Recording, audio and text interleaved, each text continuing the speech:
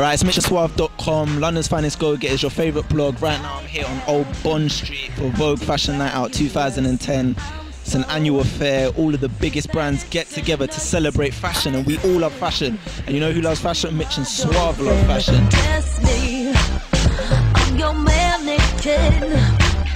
It's Mitch right now, Vogue Fashion Night 2010, and I've caught up with Lingo Scott. Lingo Scott and Francesca Marotta. Francesca Marotta. And how's your night been so far? So far, so good, man. There's a lot happening around this area. It's a very good night for fashion and just good vibes. And yeah, man, it's live. So you're definitely feeling what Vogue's done with this whole fashion night out. Was you here last year? No, I wasn't. But yeah, I thought I'd represent, make an effort tonight, come out and see what it's about. And I'm liking it. I've been looking at accessories a lot tonight because most of the girls are styled. There are a lot of girls that are styled, but I'm really liking the accessories from Mulberry. I'm liking the new collections. I like the dark aubergines, the dark turquoises, all those types of things. Yeah, Mulberry's been very popular tonight and they had a huge giveaway. It went down very well. Yeah, and like I'm quite surprised by DKNY too. I- I'm finding that quite interesting too. DKNY, I think it's really stepped up the bar. We agree, Donna Karan has stepped up. Yeah, into that, into that like high fashion category. Uh, we obviously love Mulberry since I won. We went to Burberry and we met the um, model, the, The one from singer- One Night Only. The lead singer of One Night Only. Took some pictures Yeah. with him. He was Yeah. gorgeous. Uh, you know what? Uh, there's this. Uh, what's that really fancy shoe? Like a, a lady's shoe. Jimmy Choo, No, not Jimmy. Christian Louboutin. Yeah, I was in their stand, and it was all nice. You know, the most expensive shoes. But I was more interested. They had this like uh, this zebra's head. Zebra's head. Yeah, and I was like, did the what happened to the rest of the zebra? Did it get eaten by a lion, or was it used to make pumps? What's up?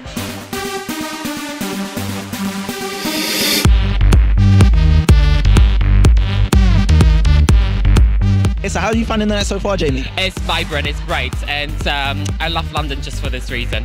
You love London just for this reason. Yes. Uh, it's a pretty special city. So what, what's been your standout brands tonight? Huh? What's been your standout brands tonight? Louis Vuitton, uh, great interaction with the customers. Uh, the photo booth is just fantastic, and the, the, I don't know what's what they put in the photo booth. Everyone looked fantastic out of it. Uh, big up Louis Vuitton for the photo booth. What's been the highlight of your evening so far? I met Chris Bailey. Wow, wow. And how was that? It was amazing. I love Chris Bailey. Sorry, where are you actually from? Malaysia? Wow, so we met someone from Malaysia. There's loads of cultures around.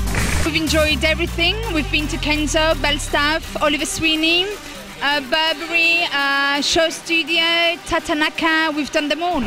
So, um, have you managed to pick up any free champagne or any goodie bags? Um, too much free champagne, free cocktails, no goodie bags though. So I'll have to see if I can get a um, little shout out somewhere else, maybe. Have you seen any little eye candy around here that's caught your eye? Um, too much, and I wouldn't say it because I'm a gentleman. Have you seen any little eye candy around here that's caught your eye? Yeah, there's plenty of eye candy hurting my eye. Too much sugar. It's like it'll hurt your teeth. It'll hurt your eyes. We're outside DKNY right now.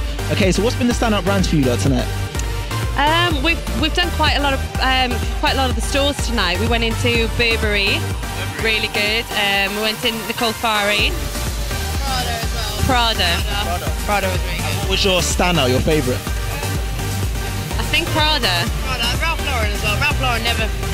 and Gucci. What, what did they put on any special events or any goodie bags, prizes, champagne? No, just a good atmosphere. They, they had Gucci chocolates as well. Can't you can't go wrong with chocolate. Can't go wrong with Gucci chocolates, especially.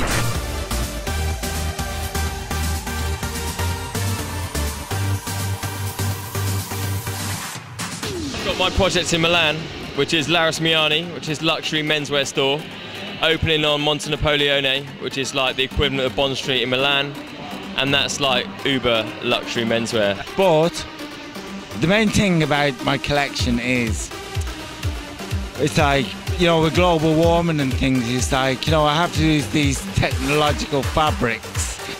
Angora, Angora, Angora. Socks, hats, suits, Angora. What's some of your favourite brands been tonight? Um, my favorite brand is Margiela. Um, Ra- you know, uh, Ralph uh, Lauren. Um, uh, Assuming that's Ralph Lauren. Vi- Vi- Vivian Westside. Vivian Westside, that's Vivienne Westwood. B store was tight. They had some style prominent. But the main thing about my collection is